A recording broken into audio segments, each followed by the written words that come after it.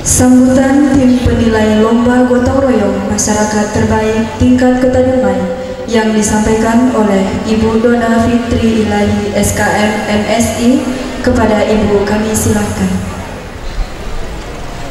Bismillahirrahmanirrahim. Assalamualaikum warahmatullahi wabarakatuh. Selamat sore, salam sejahtera bagi kita semua. Yang terhormat Bapak Wali Kota Dumai dalam hal ini diwakili oleh Bapak Penjabat Sekretaris Daerah Kota Dumai.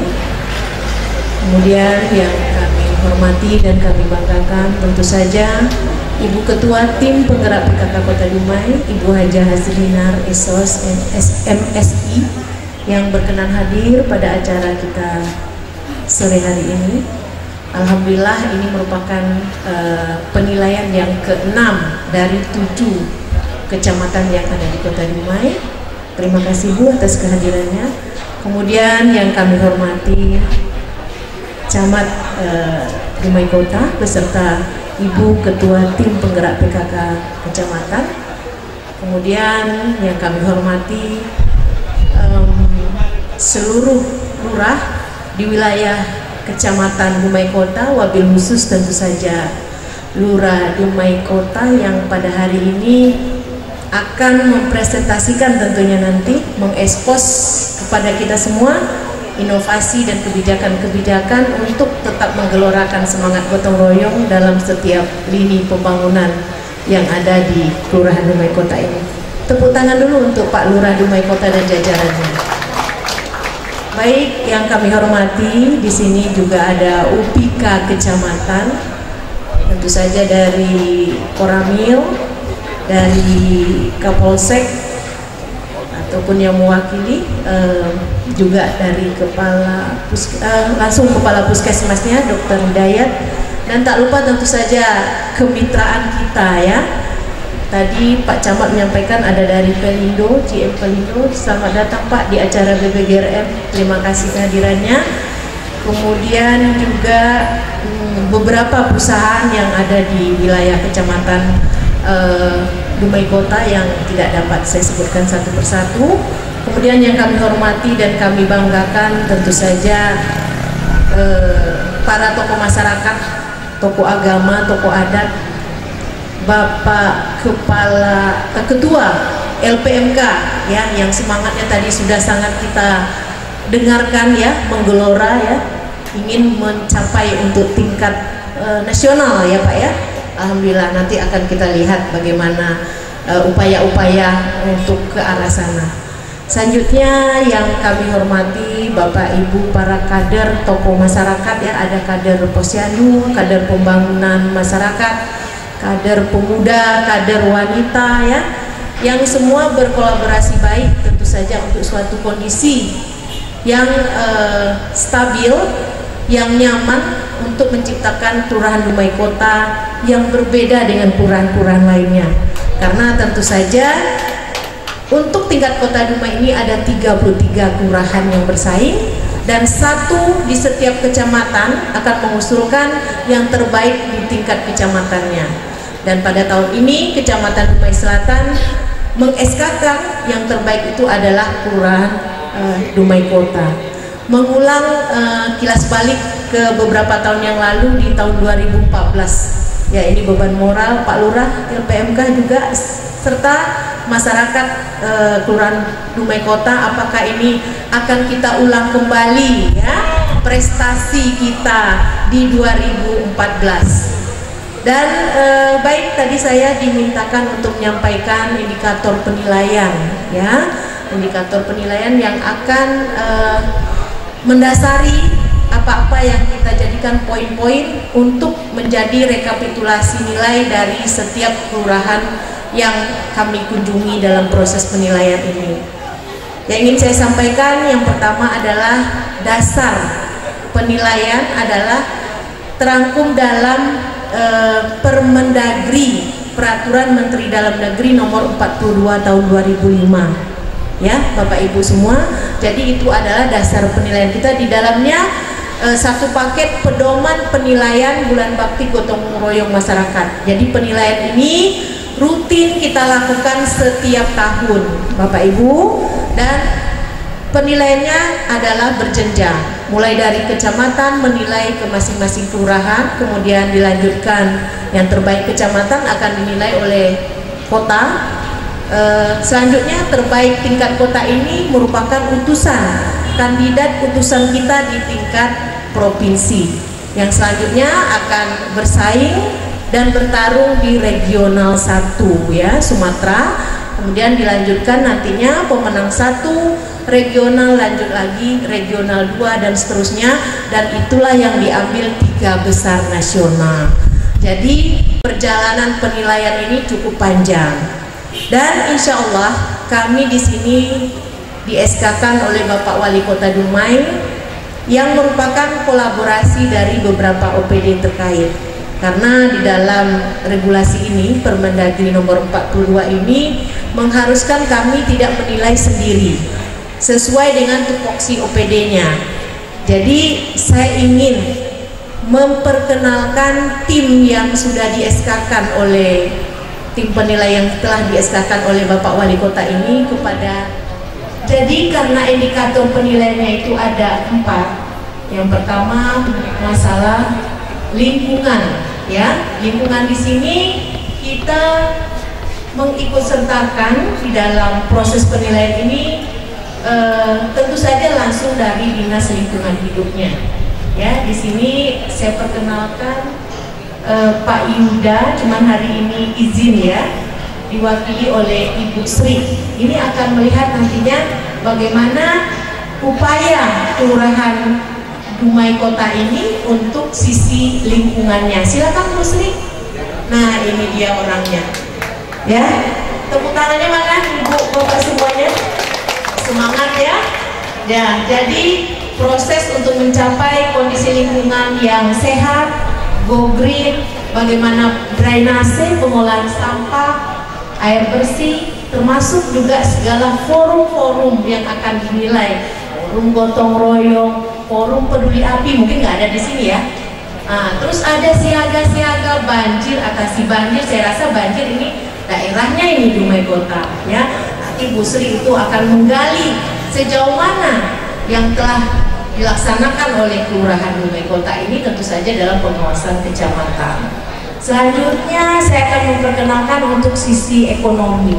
Jadi Bapak Ibu semua kalau kita dulu seringnya kan kalau berbicara bulan bakti gotong royong masyarakat langsung e, persepsinya ambil sapu, cangkul untuk membersihkan lingkungan, got, sampah dan segala macam. Tapi bukan itu amanah dari Permendagri ini.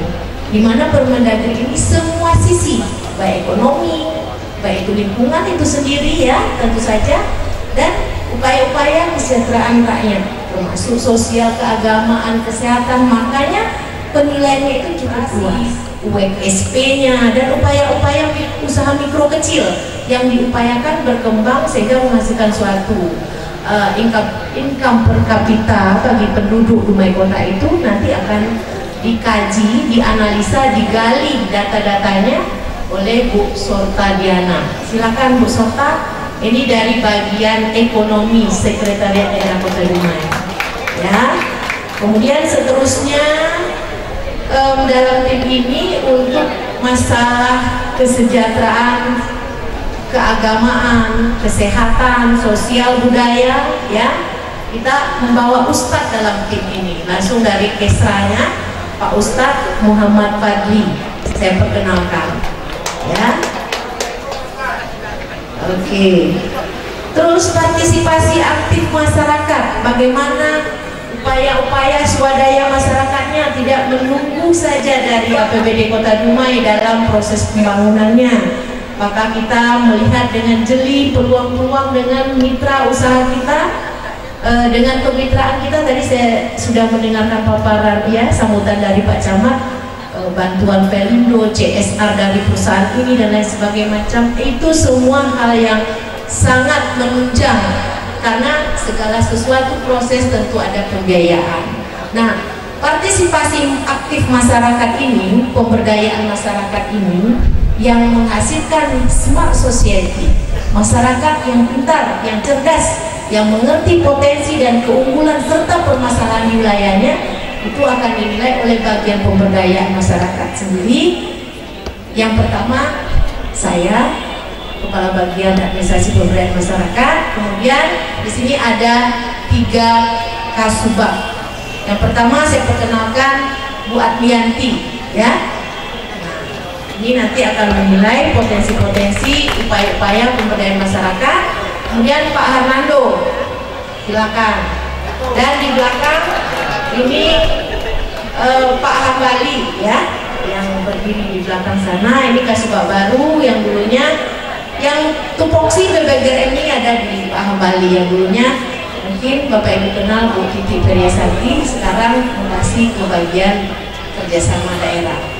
Jadi demikianlah tim yang insya Allah Pak Camat yang tadi menyatakan tolong objektif. Insya Allah kami akan objektif karena memang ada amanah di dalam ini.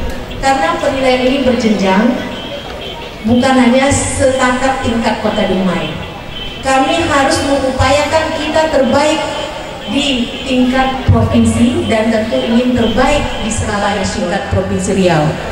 Berturut-turut kita selalu juara satu BBGRM pelaksana bulan bakti gotong royong terbaik tingkat provinsi Riau. Pertama di Kelurahan e, Bukit Datu, Dumai Selatan, kemudian e, Bukit Timah dan terakhir kemarin di 2018 itu di Kelurahan e, Jayamukti Dumai Timur, Kecamatan Dumai Timur.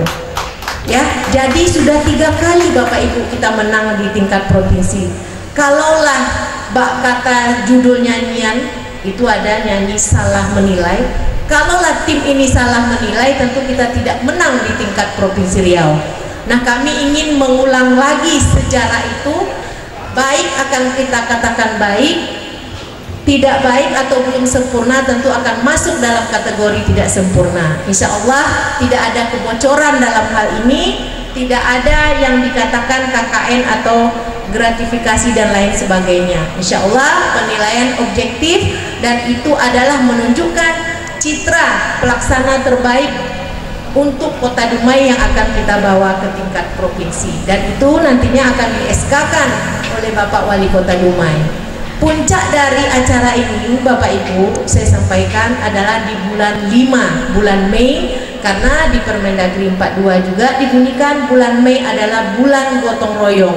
Di sana kita akan mengadakan gelar atau peringatan untuk skala tingkat kota dan kita akan menyerahkan bagi yang berhak mendapatkan juara. Jadi Bapak Ibu dari kecamatan dan kelurahan nggak usah khawatir karena semua kecamatan dapat juara karena kami menyiapkan juara 1, 2, 3 sampai harapan 4 jadi ada tujuh kecamatan ini dapat juara semua walaupun itu yang terakhir adalah harapan 4 jadi jangan berkecil hati. Tapi tentu saja kita ingin adalah yang terbaik dari yang sudah baik.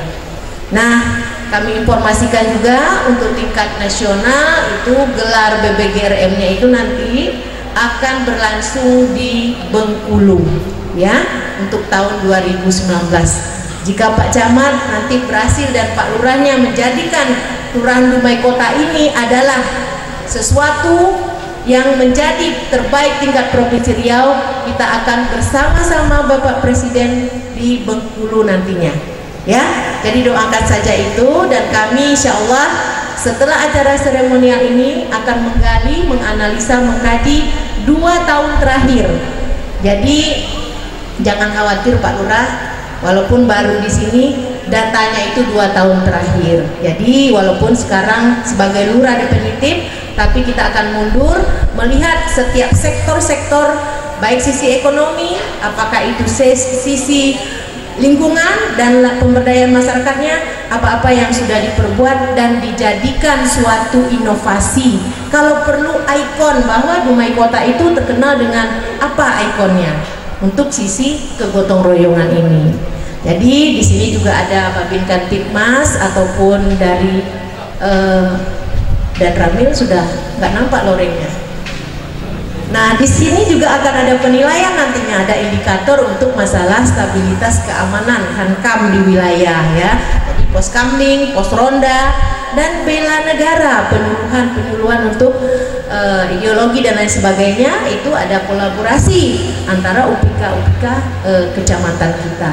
Jadi seperti itu, mari kita samakan persepsi bahwa penilaian bulan bakti gotong royong bukan masalah lingkungan saja dan alhamdulillah ini yang keenam kami turun kami pun sebagai tim penilai bingung Pak Sekda untuk tahun 2019 ini semua mempunyai inovasi yang boleh diangkat jempol ya jadi semua baik semua bagus berarti baik baik baik mencari yang terbaik jadi uh, mudah-mudahan kita selalu bisa mempertahankan kejuaraan kita di tingkat provinsi doakan ini yang tahun ini adalah yang keempat kalinya Demikian mungkin yang dapat saya sampaikan. Uh, lebih dan kurang saya mohon maaf. Dan sebelum saya tutup, saya ingin membacakan sebuah pantun. Izin Pak Sekda, Bu Wali. Uh, cantik jelita si anak darah, berbaju Melayu memakai selendang. Kalah dan menang hal yang biasa, terpenting tingkatkan partisipasi masyarakat dalam pembangunan. Terima kasih. Wassalamualaikum warahmatullahi wabarakatuh. Dari Lurah Dumai Kota kepada tim penilai, kepada Lurah Dumai Kota didampingi oleh Camat Dumai Kota beserta tim penilai disilahkan untuk mengambil tempat.